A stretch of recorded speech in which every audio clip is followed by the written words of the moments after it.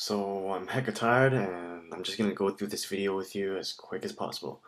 So we're gonna talk about here and we're gonna talk about government. And the first thing that I want to mention is, yeah, we already seen this formula. This formula is so familiar to us by now.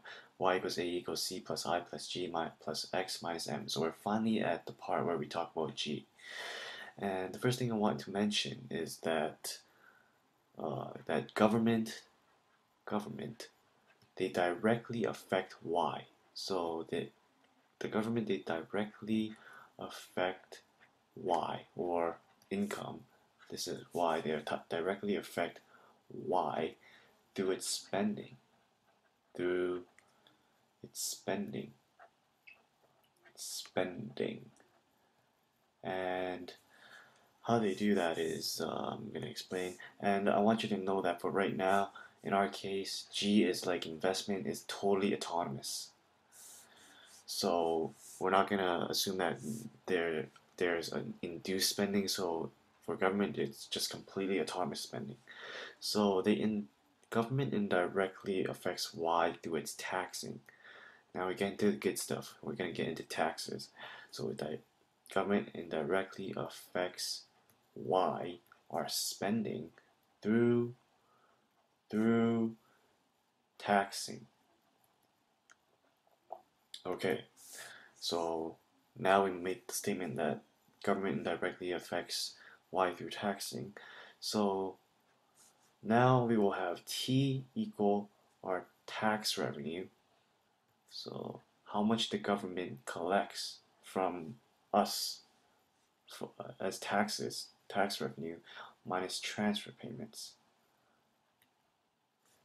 and transfer payments I if I remember correctly I don't really remember what transfer payments were but I believe they were all the all the all the work that the government had to do to to actually get the money. You know the the money that you pay don't actually like they don't actually go to the government directly. The government have to pay people to actually get to actually get the right amount of uh, tax from you. And that's what I uh, what I believe transfer payments were, if I remember correctly. But if they're not, I'm sorry for the for the misleading facts. So T is equal to TR. Let TR be uh, tax revenue minus TP for transfer payments. And TP is transfer payments, and this will equal to TY, little ty and little t, why this should look familiar. Little t is the fraction of income. It's the fraction of income. I know that. I believe z was a fraction of income too. This is the fraction of income as well. So t, little t, this would be our big T over a change in taxes over change in income. And this is what we call the marginal. This is what we call the marginal propensity propensity to tax to tax. And we could abbreviate as MPT for marginal propensity to tax. Now the next thing I'm going to talk about in this video is the primary budget. Primary budget apologize for my bad handwriting. I'm pretty damn tired right now. So I'm just trying to get through this as quick as possible. So primary budget, or we call it PB. So primary budget PB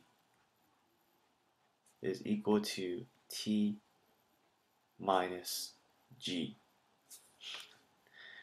And this we can expand the T to make it tax revenue minus transfer payments minus government spending.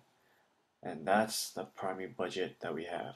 So the primary budget is pretty much what the government collects minus all the handiwork that they have to do to collect the right amount of taxes, all the routes that they have to go through to get the taxes from millions and millions of people, minus what the government actually spends for services for services for the citizens. So that's the idea of how, the, how we get the primary budget. So let's say there are three cases I want to talk about for primary budget, and this is when primary budget is greater than zero, when primary budget when primary budget is equal to zero, and the case of when primary budget is less than zero. So these are the three cases when when we that I want to talk about. So when primary budget is greater than zero, there is a surplus. So it's a PB surplus. It's PB surplus. So what I mean by this is that what the, is that the total cost for the for the, for the transfer payments and for the government, if we add up transfer payments and government, is less than the amount that we have for transfer revenue. So say, say like transfer payments is 20 dollars and government is five dollars and transfer revenue is hundred dollars. If we take 100 minus 20 minus 5, that's $75 and the, the government actually made a profit of $75 and that's our primary budget. Now for PB equals 0, now this becomes very intuitive. When PB equals 0, it's a balanced PB. It's balanced PB. So you can just make up an example again like this. You can just make it up that TR is equal to $50, TP is equal to 25 G is also equal to 25 so at the end of the at the end of the day the government actually broke even they made no money on the transfer uh, on the on the tax on tax revenue and they made no loss on tax revenue. Now lastly P, when PB is less than zero it's you should know by now what I'm going to say next. That's when that's when it is a PB deficit.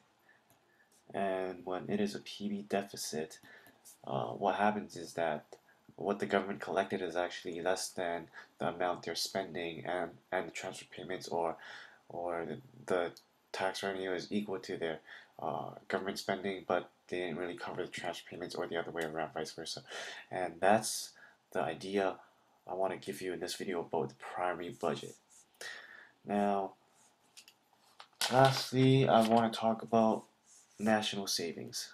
And this will be the last short topic I will talk about before I end this video. As I said, I'm super tired. It's been a long day, and I want to finish this as quick as possible. Maybe also my video should be quick. So national savings, or NS, is equal to private spending is equal to private spending or private, it's not private spending, it's private saving plus public saving. Public saving. And this is equal to S plus T minus G. If national savings is pretty much savings of the entire country. So the idea is uh, we're going to calculate how much each citizen has saved in their uh, from their jobs or wherever the source of income is. So private saving is how much we as individuals have saved up. Public saving is how much the government has at the end of the day. It's how much uh, how much tax revenue they have uh, more than their government spending and their transfer payments. So pretty much National saving is all the money that we hold in our bank at the end of the day is a good uh, a good example of what I'm trying to convey here. So yeah, that's pretty much the end of the video. And if you still iffy on national saving, you can look it up. I think I got the point across that pretty much all the savings of each private uh, uh, private account, I guess. So each individual and the savings of uh, the government they have at the end of the day after all their spendings. Thanks for watching.